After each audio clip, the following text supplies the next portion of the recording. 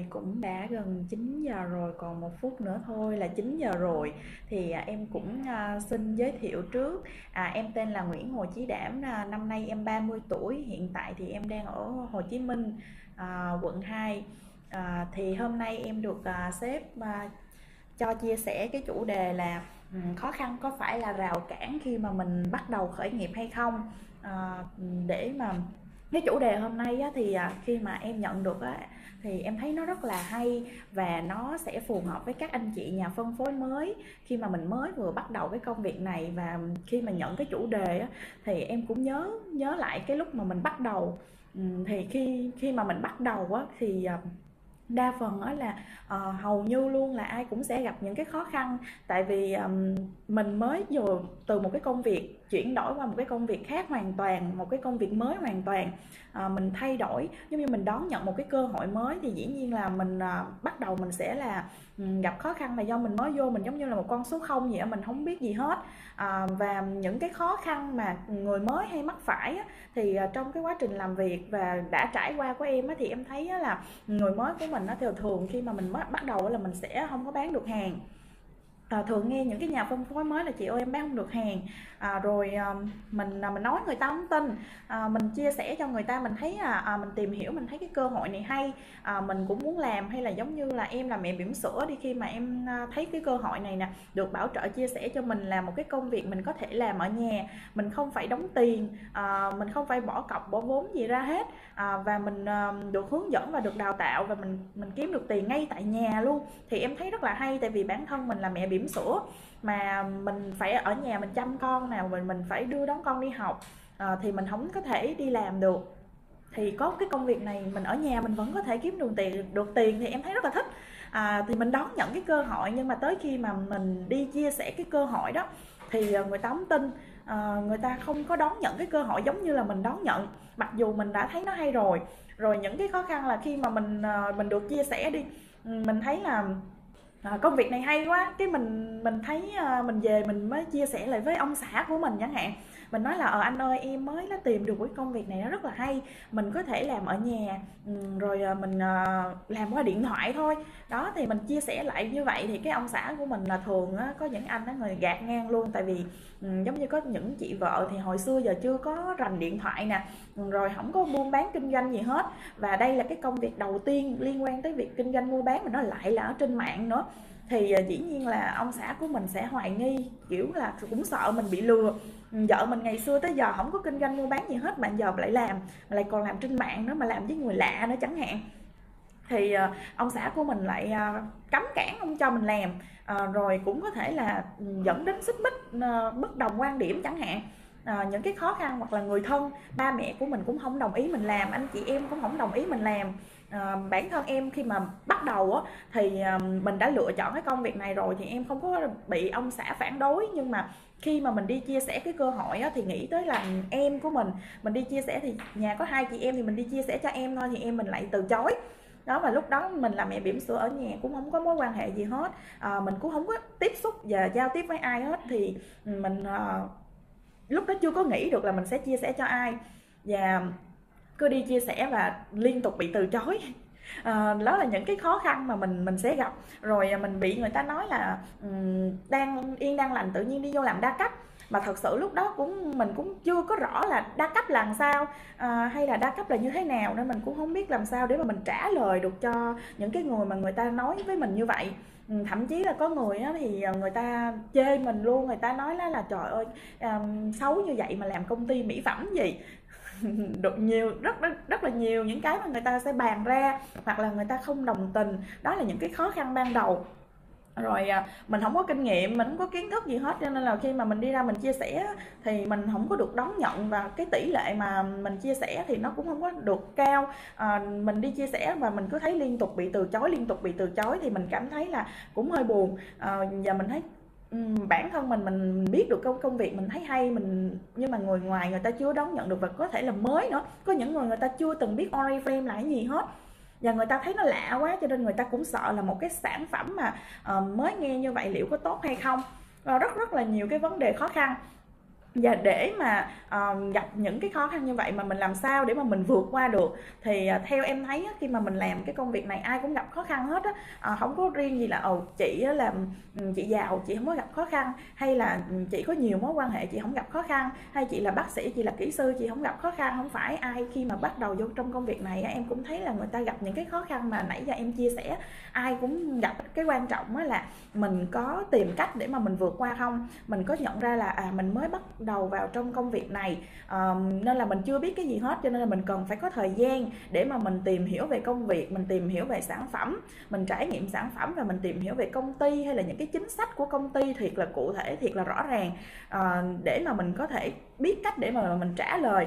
Và như mình vô mình cũng không có kinh nghiệm chưa từng bán hàng nữa không có kinh nghiệm không biết cách nói thậm chí là để mà mở lời mời một cái người nào đó một cái sản phẩm mình cũng không biết là mời sao. Hay là mình nhìn vô một cái sữa tắm một cái um, chai um, nước hoa đi hay là một cái uh, dưỡng da đó uh, mình cũng không biết là cái lọ dưỡng da này à, cái rửa mặt này nó sẽ phù hợp cho cái loại da nào mình mình hoàn toàn không biết gì mình đi vô đây là mình đâu biết gì mình phải bắt đầu từ đầu.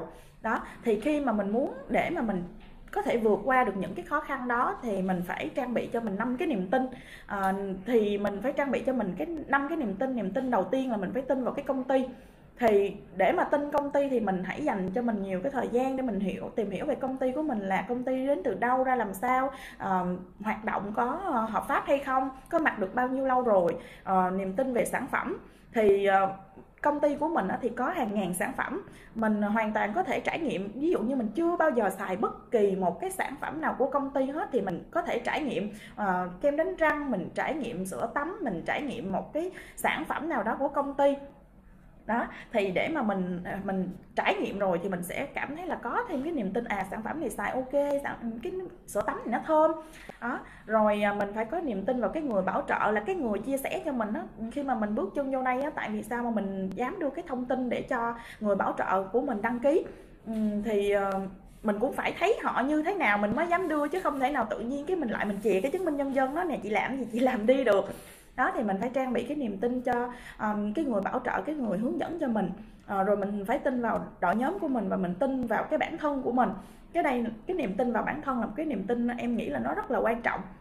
Và nó có thể chi phối những cái cái niềm tin khác. À, bản thân mình phải luôn luôn tin mình và cho mình một cái cơ hội để mà mình làm cái công việc này. À, thì mình mới có thể là à, vượt qua được những cái khó khăn. Và để mà có năm niềm tin này á thì nó ở đâu? Là nó nằm ở trong những cái live stream vào mỗi buổi tối. Thì cái công việc của mình nó là mình sẽ làm online và mình được học việc hoàn toàn miễn phí. Mình không phải ờ, đến công ty học việc. Ví dụ như mình đang ở xa ở tỉnh nhưng mà mình vẫn có thể học qua live stream ở trong nhóm cộng đồng 21 giờ mỗi tối. Thì ngày xưa khi mà em bắt đầu vào trong công việc này á, em cũng giống như những anh chị mới bây giờ là mình không biết gì hết. Mình không biết là làm sao bán cho hiệu quả à, mình không biết làm sao để, để mà đi chia sẻ cái công việc này hay là công ty này có mặt từ bao nhiêu lâu rồi thậm chí không biết luôn. Chỉ biết ừ, những cái thông tin rất là cơ bản ví dụ như là uh, Oriflame là công ty uh, bán hàng mỹ phẩm. À, thậm chí không biết Oriflame có cái dòng sản phẩm chăm sóc sức khỏe là wellness luôn. Thì chính vì là mình cho mình cơ hội và mình tìm hiểu vào mỗi buổi tối thì tối rảnh không có làm gì hết thì em sẽ lên em xem livestream đó, mình xem đâu có tốn tiền đâu. Thì em đi lên em xem livestream thì mỗi ngày như vậy á, em có bắt đầu em hiểu hơn à công ty của mình là đến từ thụy điển chứ ngày xưa cũng không biết oriflame là của nước nào luôn. À, rồi ờ, công ty của mình là hoạt động như thế nào chính sách này kia ra làm sao khi mà mình tham gia vào công việc á, thì mình sẽ có những cái giá trị quyền lợi gì là thông qua những cái buổi livestream khởi nghiệp của sếp. Đó thì mình mình tìm hiểu mỗi ngày nhưng thật sự là khi mà mới bắt đầu học livestream khởi nghiệp em cũng không hiểu. Um, hiểu thì cũng hiểu nhưng mà mình cũng chưa có thể nào mà hiểu để mà vận hành nó được. Nghe thì kiểu ờ, với lại mình cũng chưa có thật sự tập trung chưa có thật sự nghiêm túc á thì mình nghe mình à, chỉ biết là ừ cái đó mình biết rồi cái tâm lý là mình biết rồi cho nên nó là um, biết rồi nhưng mà làm chưa được. Đó thì sau sau khi mình thấy là mình mỗi tối mình thấy trời hôm nay có cái chị này cũng là mẹ bỉm sữa mà chỉ làm chỉ có thu nhập. À, mình biết thêm lúc mà mình mới vô mình đâu có biết người nào à, làm bao nhiêu lâu có những cái kết quả gì mình không hề biết gì hết nhưng mà khi mà mình xem livestream là mỗi mỗi tối mình biết là à À, bạn này á, là kế toán và bạn làm được cái công việc này bạn có nhà có xe hay là bạn này bạn đã từng là công nhân và bạn à, cũng có nhà có xe thì à, mỗi ngày như vậy mình trang bị và mình củng cố thêm cái niềm tin cho mình mình biết thêm nhiều về công ty về cái chính sách về những sản phẩm mình biết về dòng wellness những cái câu chuyện wellness rất là hay và mình có thêm cái niềm tin mỗi ngày mỗi ngày như vậy. Thì khi mà mình có niềm tin rồi mình tin chắc là mình có thể làm được cái công việc này thì khi đó mình cũng sẽ gặp khó khăn chứ không phải là mình không gặp nữa. Mỗi ngày cho tới tận bây giờ là em làm việc ờ, với Oriflame được 2 năm hơn thì cũng vẫn gặp khó khăn. Nhưng mà vấn đề là mình biết cách giải quyết khó khăn rồi. Mình biết cách trả lời khi mà người ta nói mình là uh, uh, đi vô trong này là mình làm đa cấp là lừa đảo. Thì mình biết trả lời là ủa chị ơi em đâu có lừa chị cái gì đâu. Đó tại sao chị lại nói em như vậy? Nhưng mà ngày xưa khi mình mới bắt đầu thì mình mình đang uh, uh, 50 50 mình chưa có rõ mình cũng không có dám trả lời lại thì mình chỉ im lặng thôi. Hoặc là người ta đi ra người ta nói là à, sản phẩm của mình mắc quá thì mình cũng không biết là phải trả lời sao. Mình không có dẫn chứng được là sản phẩm của mình là sản phẩm nhập khẩu từ châu Âu. Mình không thể nào so sánh với hàng Việt Nam hay là hàng trôi nổi được. Đó. À, mà sau này khi mà mình học mình biết thì mình bắt đầu mình so sánh được thì mình bắt đầu mình vượt qua những cái khó khăn ban đầu đó. À, mình học để mà mình có thêm cái kinh nghiệm và mình thấy em thấy là khi mà mình học livestream như vậy á Ừ, em rất là thích. À, bản thân của em từ khi mà bước chân vô trong ờ, uh, Oriflame á, thì chưa bao giờ bỏ qua một cái buổi livestream nào. À, mình luôn luôn à, tại vì em mặc định cho mình là xem livestream cũng là mình đang làm việc. Đó là công việc của mình cần phải làm khi mà mình bước chân vô trong Oriflame cho nên là luôn luôn là đi vô coi livestream và ừ, không bỏ qua một cái buổi livestream nào hết. Mình luôn sắp xếp cái thời gian để mà mình làm vì mình hiểu là khi mà mình mình vô mình làm á mình phải có được cái thời gian mà dành cho công việc. À, mình làm gì cũng vậy mình phải có thời gian dành cho nó. À, thì mình mới có thể là có được cái kết quả à, chứ bây giờ mình vô mình làm mà mình không bao giờ có thời gian mình cũng không thể nào xem livestream được. Là mình là đã là con số không rồi mà mình còn không chịu học nữa. Mà học thì học miễn phí nữa chứ không phải là học tốn tiền nữa. Mà mình cũng không có chịu uh, học thì dĩ nhiên là mình sẽ không có làm được có kết quả. Rồi mình đâu có trang bị được cái gì đâu mình đâu có thấy câu chuyện nào mình cũng không biết gì sản phẩm nào hết. Người ta mình nói là mình uh, mình làm oriflame mình có mã số. Nhưng mà khi mà người ta hỏi tới Oriflame là uh, đến từ đâu? Hay là người ta nói trời Oriflame á hả? Là đồ ờ, của nó là đồ xuất xứ từ Mỹ hay là xuất xứ từ ờ, Trung Quốc? Mình cũng không biết trả lời nữa tại vì mình đâu có tìm hiểu mình đâu có học đâu mà mình biết.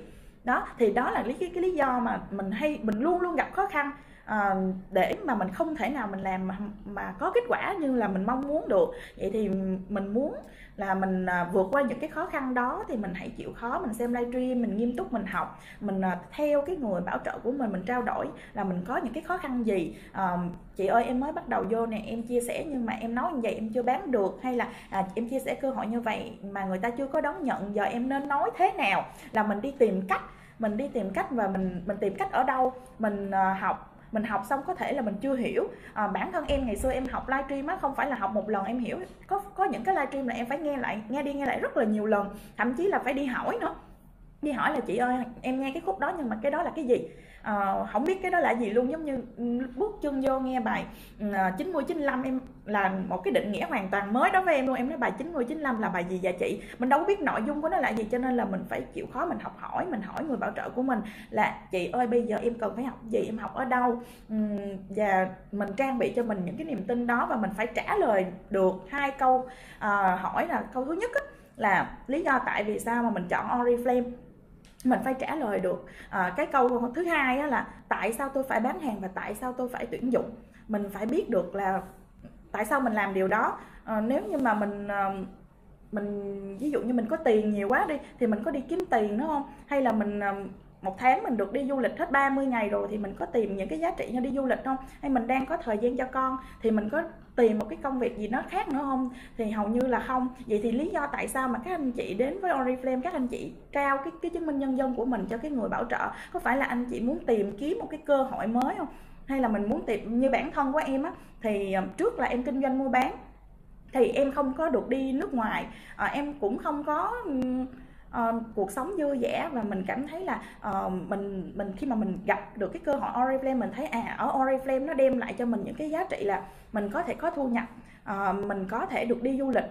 Uh, chưa bao giờ được đi cho nên mình nghe được cái giá trị du lịch mình rất là thích. Uh, mình uh, thích được là cái chính sách thừa kế. Uh, em kinh doanh thì họ nói chung không có thừa kế rồi.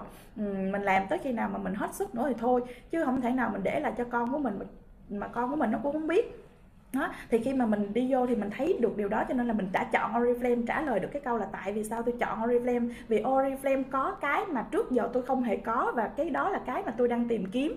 Đó, rồi mình trả lời là tại sao mình phải đi bán hàng? Mình bán hàng là vì cái gì? Vì bảo trợ kêu mình hay là mình mình bán để cho mình có được 200 điểm? Đó. mình bán hàng á, là mình phải hiểu được cái công việc này mà mình đi bán hàng là để mình có kinh nghiệm mình đem được cái doanh số về cho công ty thì mình mới có được cái cái cách làm mình hiểu được cái cách làm mình mới đi chỉ được cho người khác còn bây giờ mình bán không được thì mình chỉ cho ai rồi mình đi tuyển dụng này để làm gì để mình xây dựng cái đội nhóm của mình để cái đội nhóm mình phát triển mình đem về được nguyên đội nhóm mình đem về doanh số tốt cho công ty thì công ty sẽ trả luôn trả những cái thu nhập những cái giá trị cao cho mình đó à, để mà vượt qua thì các anh chị nhớ là mình nhớ xem livestream nha và mình rủ các anh chị trong à, người mới của mình cũng vào xem livestream à, giống như mình. À, xem livestream thôi miễn phí mỗi ngày như vậy mà lại có được cái thu nhập hiện tại thì thu nhập của em cũng là trung bình là 30 triệu một tháng. Đó mà mình đâu phải tốn tiền trong khi nếu mà như mình đi ra ngoài mình làm mình học bất cứ cái gì học làm nail học làm tóc hay là học nghề gì đó mình cũng phải tốn tiền. Đó mà ở đây mình học hoàn toàn miễn phí luôn và tạo điều kiện cho mình mình chủ động nữa rồi cái thứ ba là những cái giá trị gì à, mà mình sẽ nhận được khi mà mình tập trung 101 phần trăm để mà vào Oriflame mình làm? À, những cái giá trị ờ, thì ờ, đối với bản thân của em á, thì ngày xưa á, là em là mẹ bỉm sữa em ở nhà em kinh doanh mua bán riêng. Thì uh, em suy nghĩ đơn giản uh, làm đối với em á, là để có cái thu nhập 10 triệu á, thật sự là rất là khó. Để có thu nhập 10 triệu một tháng thật sự rất là khó tại vì bản thân của em thì em không có bằng cấp cũng không có kinh nghiệm gì hết thì mình mới bắt đầu vô mình nghe được cái thu nhập 10 triệu một tháng là mình rất là mê luôn à, mà nếu như không làm Oriflame thì thật sự em cũng không bao giờ làm công việc gì khác mà để có thể lãnh lương 10 triệu một tháng hết đó. thì uh, lúc đó là mình thích cái giá trị đó rồi uh, mình thấy là mình cũng không có được uh, ví dụ như mình đi làm một cái công việc đó làm nhân viên văn phòng hay là làm một cái công việc gì đó mình không thể nào mà mình nhận được tiền thưởng là 10 triệu hay là 22 triệu tiền thưởng hay là 21 triệu tiền thưởng như bây giờ. Ờ, làm gì có người ta ví dụ người ta thưởng mình đó là thưởng triệu hay 500 gì đó hay là tăng lương thì một năm hai năm gì đó. À, sau một năm đi người ta sẽ tăng lương cho mình là 500 một triệu. À, còn ở đây á, thì mình quyết định cái thu nhập của mình. Ừ, trời tự nhiên nghe cái cái uh, mình quyết định cái thu nhập của mình mình rất là thích. Tại vì mình chịu khó. Ờ, mình chịu cày mình chịu kiếm tiền mà mình không có biết cơ hội gì để mà mình mình làm thôi. Hồi ngày xưa giờ mình cày từ sáng tới chiều. À, mình làm rất là nhiều luôn kinh doanh mua bán ở ngoài 5 năm luôn nhưng mà không có cái giá trị gì hết. Ừ, đâu bao giờ được đi nước ngoài gì đâu. À, cũng không có được kiểu mà mình sống mà mình mình làm tất bật mình không có nhiều thời gian dành cho gia đình. Một là mình làm hai là mình dành cho gia đình thì mình không có làm thì không có tiền. Mình phải lựa chọn một trong hai đó chứ mình không thể nào là làm mà vừa có thể có thời gian chăm con hoặc là mình mệt mỏi mình cũng phải đi làm. Sáng mở mắt ra là mình dù bạn thích hay bạn không thích thì bạn vẫn phải đi làm. Chứ đâu thể nào mà mình đang có một cái công việc mà mình à, nói là ho bây giờ tôi lùi quá tôi muốn ngủ tiếp nên tôi không đi làm người ta đuổi mình luôn. Đó nhưng mà mình đi vô trong Oriflame em thấy những cái giá trị là uh, nó hay và nó phù hợp với mình. Thì lúc đó em à, quyết định đó là em à, tập trung làm Oriflame luôn thì sau 6 tháng mà em tập trung làm Oriflame em vào là tháng 6 à, tháng 7 thì em ở Gold tháng 12 là em chốt chức danh Gold. Và mình nhận thưởng là lúc đó em nhận thưởng là vừa chốt chức danh Director vừa chốt chức danh Gold luôn. Là mình nhận thưởng là 100 triệu. Là 20 triệu uh, tiền director rồi 22 triệu tiền thưởng uh, tăng trưởng rồi à, uh, 40 triệu tiền của Gon rồi một chiếc xe tay ga là Tết á, là mình nhận ờ, 60 triệu nè. À, tháng 12 á, là em nhận 60 triệu cộng chiếc xe tay ga là vừa dịp Tết luôn. 6 tháng tập trung mình thấy á, là trời ơi sau 6 tháng mà mình tập trung mình lại có cầm ở trên tay của mình hơn 100 triệu. Mà trong khi ngày xưa giờ mình bán hàng á là 5 năm rồi thì phải tới cái năm thứ năm á mình mới cầm tiền 100 triệu ở trong tay chứ không thể nào mà sau 6 tháng buôn bán hay mở ra một cái cái uh, kinh doanh gì đó mà mình có được 100 triệu hết. Mà ngay vào cái dịp Tết luôn và em có được một cái vé đi Thụy Điển. Thì uh, thật sự là cái đó là cái giá để mà mình phải quyết liệt mình phải tập trung để mình làm. Và nó có xứng đáng không? Nó nó rất là xứng đáng phải không ạ? Và trong suốt khoảng thời gian đó em vẫn có thời gian dành cho gia đình của mình. À, em nhớ là khi mà ngày xưa anh tú anh đi làm á, là hai vợ chồng em không có đi ăn sáng được với nhau đâu. Tại vì sáng là anh tú 5 giờ là anh đã đi làm rồi. Tại vì đi làm cách nhà tới 50 cây rồi. Thì đã sáng là đã đi rồi. Chứ không thể nào mà chiều á, đi về là khoảng 7 giờ mấy 8 giờ là con cái đã ngủ rồi, cơm nước em cũng đã xong rồi. Hai vợ chồng không có nhiều thời gian luôn. Cứ đi làm đi làm. Nhưng mà thu nhập của anh tú đi làm thì cũng không quá cao đó. Rồi mình mình đi vô trong Oriflame làm, em thấy trời mình quyết liệt mình làm. Nhưng mà mình vẫn có thời gian nè, cho con cái của mình nè, mình chăm con của mình nè. Rồi hai vợ chồng đó là được đi ăn sáng chung với nhau. À, nhiều khi cái giá trị nó rất là nhỏ, nhưng mà nó rất là khó có trong hiện tại như bây giờ. Có nhiều bạn bè của em á, hai vợ chồng đi làm á thì à, không có thể nào đi ăn sáng cùng nhau hết. Đó. Thì mình thấy một cái giá trị nó quá lớn luôn. Đó bởi vậy á cho nên nó là mình phải uh, khi mà mình bước chân vô mình làm rồi á là em chọn là mình phải tập trung mình làm. Mình thấy cơ hội rồi mình phải quyết tâm mình làm. Chứ bây giờ mình làm mà nếu mà mình làm mà nửa vời ờ làm cũng được không làm cũng được. Thì thật sự là thôi thì mình đừng chọn. Tại vì uh, ngày xưa của mình á là mình không có đạt được những cái giống như mình mong muốn nên mình mới đi tìm kiếm một cái cơ hội khác. Mà bây giờ á mình đã thấy được cái cơ hội đó rồi mình đã tìm được cái cơ hội đó rồi mà mình vẫn dở dở ương ương thì sẽ dĩ nhiên nó sẽ không đem lại cho mình một cái kết quả nhưng mà mình mong muốn được. Vậy thì mình có nên tập trung hay không? À, dĩ nhiên là câu trả lời là mình phải tập trung rồi. Và mình phải quyết liệt với cái mục tiêu đó mà thiệt sự lúc đó em đi vô là em em mê đi du lịch lắm mà mình cũng chưa được đi uh, du lịch bao bao giờ hết cho nên là mục tiêu bước chân vô là mình nói là mình phải làm được mình phải lấy được cái vé đi thụy điển à, mình phải lấy được cái vé đi thụy điển để mà mình uh, được đặt chân đi nước ngoài. Một lần cho biết trong đời còn hơn là bây giờ mình làm cái công việc cũ của mình đó là bây giờ mình cũng đã ba chục tuổi mình không có được đi nước nào hết trơn á chưa bao giờ được đi ra khỏi Việt Nam à, thì quyết liệt để mà làm. Giờ mình phải uh, uh, hết là hết mình với cái mục tiêu đó của mình. Và mình mình đừng có chần chừ mình đừng có đợi các anh chị. Ví dụ như thà mình không biết cái cơ hội thì thôi nhưng mà mình biết cái cơ hội rồi mình thấy công việc này có nhiều cái giá trị và mình tin nó rồi thì mình hãy làm. Đừng vì lý do là uh, mình uh, phải uh, thế này hay thế kia mình không có nhiều thời gian uh, thời gian có hay không là nằm ở chỗ của mình. Uh, em ngày xưa khi mà em vô thì em cũng còn đang kinh doanh công việc của mình à, và công việc kinh doanh của em lúc đó là cũng đang rất là thuận lợi chứ không phải là đang ế ẩm. À, nên là cái quỹ thời gian của mình thật sự là nó cũng không có nhiều. À, nhưng mà mình mình phải cố gắng mình luôn luôn nhủ ở trong đầu của mình là mình phải làm được mình phải tin mình làm được và mình thấy được cái người bảo trợ của mình á là những cái giá trị mà người bảo trợ mình nhận mình có mong muốn được nhận những cái giá trị giống như vậy hay không? Tại vì bảo trợ nhận là em đã tin rồi.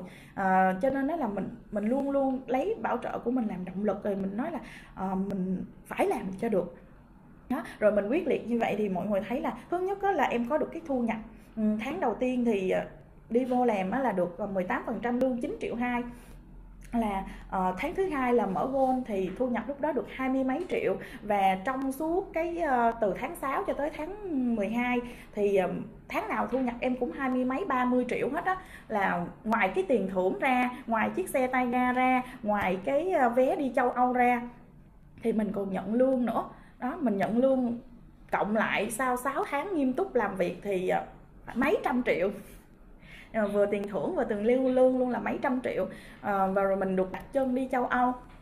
Rất là nhiều giá trị để mà mình làm. Và lúc đó là uh, mục tiêu á, khi mà đi vô là ao ước là được 21% để mà mình có thu nhập 10 triệu. Vì cũng giống như nãy em có chia sẻ là uh, mình ở nhà làm mẹ bỉm sữa em rất là ước ao là mình có một cái nguồn thu nhập được lãnh qua tài khoản. Um, chưa bao giờ được lãnh tiền qua tài khoản hết các anh chị. Là tiền thì mình mua bán thì mình cầm vậy thôi chứ không có công ty nào chuyển cho mình nó có đi làm công ty nào đâu người ta chuyển. Nhưng mà lúc đó mình được nhận cái thu nhập á em em tự nhủ trong đầu của mình đó là uh, khi khi em vô làm á là 400 ngàn tiền chiếc khấu sĩ á, thì sẽ được chuyển qua tài khoản ATM của mình. Mình luôn luôn lấy đó là mục tiêu uh, mình uh, mình đặt mục tiêu của mình là 10 triệu rồi nhưng mà mình chia nhỏ nó ra nữa. Mình nói mình phải làm gì để mình có 400 ngàn này để mà mình được chuyển qua cái tài khoản của mình? Để làm gì mình khoe? Mình chứng minh là, nè, tôi đi vô trong cái công việc này tôi làm, tôi có tiền chứ bộ. Nếu như 400 ngàn mà nó nằm trong tài khoản của mình thì chắc chắn một triệu sẽ có 2 triệu sẽ có 5 10 triệu sẽ có. Đó là cái để mà mình mình tự mình trang bị niềm tin cho mình và cứ quyết liệt làm và em chia nhỏ mục tiêu và cứ liên tục đặt cho mình cái mục tiêu mới liên tục. Khi mà mình đạt được cái cấp bậc 6% rồi, làm sao để được 9% đây? Và mình học học công thức rồi, học cách làm rồi, đi chia sẻ, đi chia sẻ rất là nhiều và bị từ chối cũng rất là nhiều. Nhưng mà cũng không sao hết, vẫn có người, mình đi chia sẻ nhiều, có người cũng vẫn làm với mình, cũng có người hợp tác với mình, có người đón nhận sản phẩm của mình rồi tháng đầu được lương 9 triệu hai. Đó mình quyết liệt một trăm lẻ một phần trăm luôn. Lúc đó là uh, gạt ngang luôn công việc hiện tại của mình là kinh doanh mua bán nhưng mà lúc đó mình mình bị cuốn vô luôn. Mình thấy trời ơi được 400 ngàn là đã vui lắm rồi được 9 phần trăm đã rất là vui rồi. Mà mình cứ tiếp tục để coi là sức của mình tới đâu. Và sau 6 tháng nghiêm túc nỗ lực 101 phần trăm thì mình có được mấy trăm triệu trong tài khoản. Thật sự đó là một cái con số uh, rất là lớn luôn. Bản thân của em là cũng không có tin được luôn nhiều khi là mình không có nghĩ không có nghĩ là trời ơi tại sao là mình có thể uh, uh, có được cái số tiền đó và cái cơ hội ở đây là phải nói là nó quá lớn. Và khi đó mình nhận được mấy trăm triệu mình nghĩ là nhiều rồi đúng không ạ? Nhưng mà nhìn lên những các anh chị khác à, nhìn lên những người bảo trợ của mình nhìn những các leader khác thì người ta mình cộng lại cũng chỉ bằng một tháng lương của người ta thôi. Đó đó thì vậy thì lý do gì tại sao mình lại không cố gắng mình lại không quyết liệt à, có một cái câu chuyện này nó cũng là thực tế bạn của em á. Thì à, khi em chia sẻ cái cơ hội thì bạn không có làm. À, bạn à, bạn vẫn còn đắn đo bạn đợi bạn bạn đợi là không biết các anh chị ở đây khi mà mình đi chia sẻ có hay nghe cái câu là mày làm trước đi rồi được thì tao làm. À, em đi chia sẻ thì gặp rất là nhiều cái câu như vậy luôn. Thôi đảm làm trước đi rồi chị làm. À, và người ta cứ đợi đợi em làm. Và sau 6 tháng á, thì như em chia sẻ là em đã có được cái thu nhập à, cộng với thưởng cộng với xe là giá trị hơn 200 triệu. Nhưng mà bạn em sau 6 tháng đợi em làm và bạn bắt đầu vào á, thì bạn đâu có được những giá trị đó đâu. Thậm chí là có người á, người ta cũng uh, không quyết liệt mà người ta kéo dài 6 tháng đó luôn à, làm. Nhưng mà kiểu mình không biết là mình có nên uh, đặt đơn hàng hay không. Mình không biết là mình mình có đi ờ, mình cứ đắn đo mình biết mình có nên đi chia sẻ không? Mà mình cứ lo nghĩ mình cứ lo suy nghĩ thì sau 6 tháng sau mình nhìn lại mình không có được cái gì hết. Vậy thì tại sao lý do gì? Mình hãy trả lời là lý do gì tại sao mình lại không quyết liệt ngay từ bây giờ? Mình không làm hết sức mình ngay từ bây giờ để coi sức của mình tới đâu? Thiệt sự lúc mà em mới bắt đầu vô là uh, mình vừa nhát mình vừa không có mối quan hệ ở nhà là mẹ bỉm sữa lấy chồng xong là ở nhà luôn, không có chơi với ai, không có quen ai luôn, thậm chí em ở nhà chồng mà ở đằng trước nhà còn không biết em có mặt ở trong cái gia đình đó luôn. Tới khi mà dọn nhà đi á, mình mình đến mình chào những cái người hàng xóm của mình á, mà người ta nói, ủa chị tưởng em lấy chồng là em ở dưới quê chồng á, chỉ có chồng em ở trên này đi làm thôi, còn em là làm dâu ở dưới à, đồng nai người ta còn nói đến mức như vậy luôn là mọi người biết là em không có giao du với ai nhiều hết. Đó đến mức như vậy nhưng mà khi mà mình đi vô trong này em làm có cái giá trị là mình cũng phát triển bản thân mình ờ, mình thử sức của mình. Mình đi chia sẻ với chị Châu Hiền là em đi vô đây em làm em để em thay đổi để em có thể uh, tốt hơn. Và mình mình cố gắng hết sức của mình uh, để mà mình học hỏi để mà mình làm. Không có biết livestream là cái gì luôn. Ừ, lên livestream thì cũng không biết để cái màn hình nó như thế nào phải quay ngược lại. Nhưng mà bây giờ làm sao để quay nó lại thuận chiều cũng không biết làm luôn cũng phải lay hoay luôn. Đó mà bây giờ thì mình đã live stream được mình có thể tự tin để mà mình chia sẻ với lại mọi người à, chia sẻ với đội nhóm của mình. À, mình thay đổi rất là nhiều. Từ từ cái việc là mình quyết định là mình làm nghiêm túc mình nỗ lực của mình thì hôm nay đã nhận được những cái giá trị đó. Và con cái của mình cũng có một cái cuộc sống tốt hơn. À, cuộc sống của em bây giờ thì nó thay đổi so với trước rất là nhiều. Ngày trước đó là ở trong một căn nhà rất là nhỏ không có một cái không gian gì hết. Um, ăn uống ngủ nghỉ thì nói chung là nó trong một cái không gian um, rất là chật nữa. Nhưng mà khi mà vào Oriflame á, thì em không thể nào tưởng tượng được đó là em có thể về quận 2 em ở luôn. Trong đầu của em từ từ nhỏ tới lớn không bao giờ em có suy nghĩ là em sẽ về quận 2 vì em nghĩ là quận 2 là một cái nơi rất là đắt đỏ chỉ dành cho những cái người giàu người ta ở thôi. Chứ mình là không bao giờ có vé nhưng mà khi mà vào Oriflame sau 2 năm á, thì hiện tại em cũng đang ở quận 2 rồi. À, và mình có được những cái không gian làm việc riêng mình có được cái phòng ngủ à, mình mình mình thay đổi được rất là nhiều con của mình được học ở một cái môi trường tốt hơn.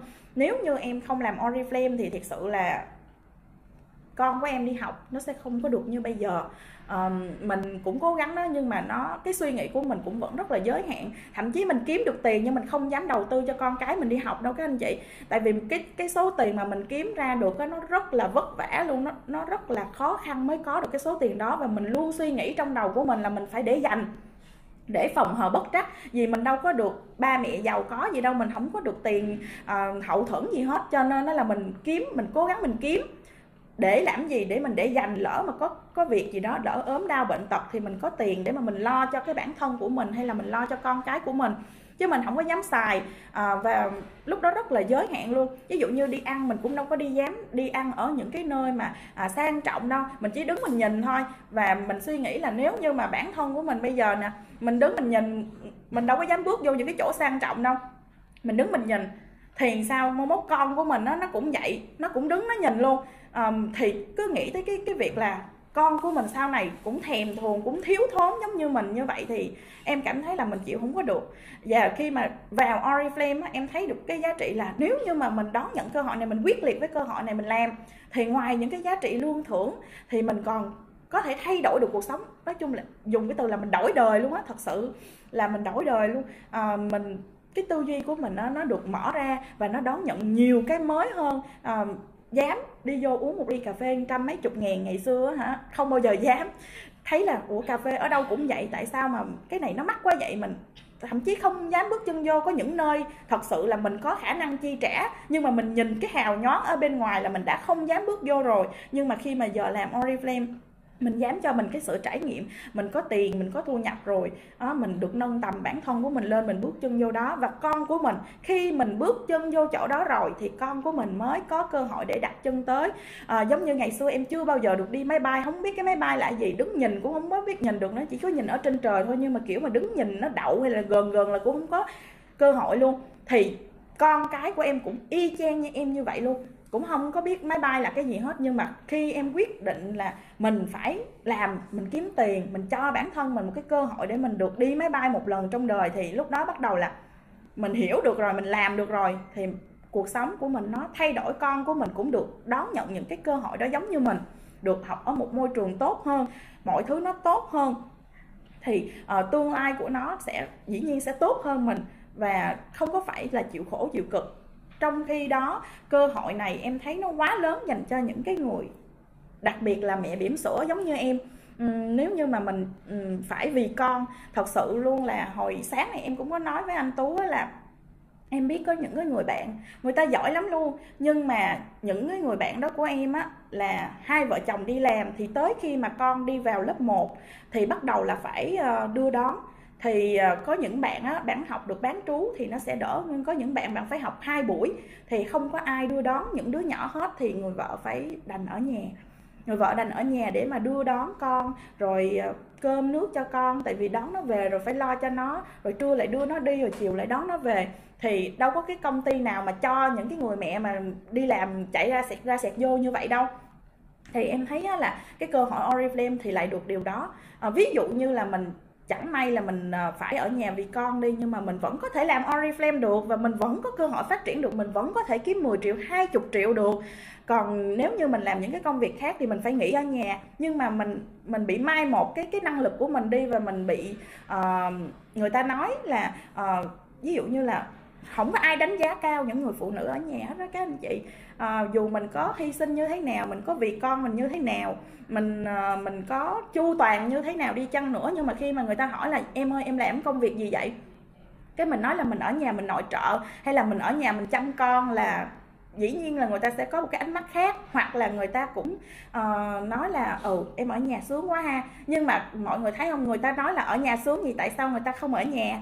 À, tại vì người ta có công việc người ta có được cái sự nghiệp của người ta. Và khi mà vào Oriflame em thấy là mình là mẹ bỉm sữa nhưng mà mình vẫn có sự nghiệp của mình. Mình vẫn có thể làm được mình vẫn có thể kiếm tiền được mình vẫn có thể chăm con của mình được. Cho nên là mình phải quyết liệt một trăm lẻ một phần trăm để mà mình mình làm. Và mình sẽ nhận được những cái giá trị như vậy. Mà bên ngoài rất là ít mà em cũng chưa có bao giờ thấy luôn là có thể đem lại cho mình được. Không thể nào mà um, đi làm rồi cái đón con rồi cái một tiếng sau cái chị ơi cho em đi đón con tiếp hay là con mình là con nhỏ nè. Đề kháng nó kém nó cũng hay ốm đau bệnh sổ mũi sốt ho mọc răng uh, rất rất là nhiều vấn đề. Và mình bạn của em cũng vậy là phải đi làm và sợ nghe cái từ là con không có đi học phải ở nhà vì đâu có ai trông đâu. Bạn rất là sợ mà bản thân của mình á mình không có nghĩ nghĩ làm được hay là đợt dịch này cũng vậy. À, khi mà đợt dịch đó thì mình phải ở nhà mình cách ly. Và những cái người mà nếu mà đi làm cái công việc khác á, là mình mình rất là sợ luôn. Trời ơi thế là con mình lại nghỉ rồi. Nhưng mà cho con mình đi học thì mình lại sợ bị lây nhiễm. Hay là mình lo lắng cho nó nhưng mà mình nghe nó ở nhà mình cũng sợ luôn. Tại vì học sinh thì được nghỉ học mà cha mẹ thì không được nghỉ làm. Thì lúc đó em cảm thấy cái giá trị tại Oriflame nó quá hay đi. Tại vì mà em vẫn rất là nhẫn nhơ luôn. Em vẫn cảm thấy là ừ à, hồi trước tôi cũng ở nhà tôi làm được bây giờ có giãn cách xã hội tôi ở nhà thì cũng ok không sao hết thì mình ở nhà mình giữ con mình. Cái quan trọng là cái cái tính mạng của mình nè cái ờ, cái sức khỏe của mình nè. Đó cái đó là cái giá trị mà rất là lớn và mình cảm thấy được cảm nhận rõ rệt được là trong cái đợt dịch vừa qua. Thì cái lý do à, đó là có có đáng để cho mình là mình quyết liệt hơn mình tập trung hơn không ạ và bây giờ là đang là tháng 11 vậy thì mình hãy tập trung hơn để mà mình làm để mà theo đúng như cái quy trình mà sếp dạy cho mình là 3 tháng để có thu nhập 10 triệu. Ngày xưa em nghe cái 3 tháng có thu nhập 10 triệu em cũng thấy nó rất là xa vời. À, em thấy nó trời ơi mình ở đây nè mình đi mình kiếm một cái công việc nó rất là khó luôn. Học bao nhiêu năm đi ra trường đi xin việc đâu có thể nào mà bước chân vô là có một cái công việc 10 triệu được. Hay bây giờ mình đi xin việc đi mình xin việc gì để có một cái mức lương bước vô là 10 triệu mà mà thoải mái về đầu óc rồi à, môi trường cũng ờ, thoải mái gần gũi? Không có nhưng mà ở Oriflame thì có và mình quyết liệt thì mình sẽ làm được. Bây giờ là tháng 11 tháng 12 tháng 1 là mình quyết liệt mình sẽ có tiền ăn Tết.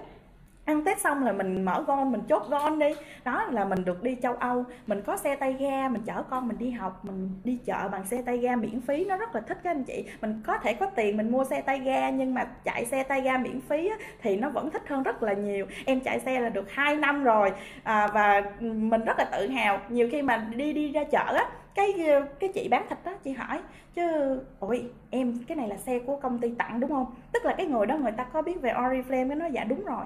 Đó mình cảm thấy rất là vui rất là tự hào luôn. Thậm chí là em lãnh xe xong rồi á về nhà ở dưới quê á mẹ chồng em á đi khoe khắp nơi luôn á là hai vợ chồng em làm Oriflame á là nó làm được công ty thưởng cho cái xe luôn á. Người ta cứ nghĩ là à, mình được à, bốc thăm trúng thưởng thôi nhưng mà thật sự là không phải là mình mình làm mà công ty thưởng cho mình thì đâu có cái công ty nào mà mà thưởng xe hay là thưởng nhà cho mình à, thưởng những cái giá trị cho mình à, đi du lịch mà hoàn toàn miễn phí đâu đúng không ạ? À, người ta hay là bốc thăm ví dụ như cuối năm người ta bốc thăm đó, chứ không có ai mà thưởng. Còn ở Oriflame này các anh chị cứ đạt cái chức danh đó cứ chốt cái chức danh đó là công ty thưởng không cần phải đợi chờ gì hết. Mình đi vô á, một năm có những anh chị một năm đi người ta lấy nhà mình cứ làm đạt được điều kiện của công ty thì công ty sẽ trao cho mình. À, không có giới hạn số lượng luôn. À, mình cứ làm à, hết mình của mình để mà mình nhận được những cái giá trị tại Oriflame nha các anh chị. À, à, hôm nay thì em chỉ chia sẻ với nhà mình à, bao nhiêu đây thôi. Cảm ơn nhà mình đã lắng nghe và cũng à, gửi cho nhà mình một cái câu nhắn nhủ mà em cũng rất là thích là thành công bắt đầu từ việc bản thân mình phải tin rằng mình làm được. Rồi chào các anh chị nha.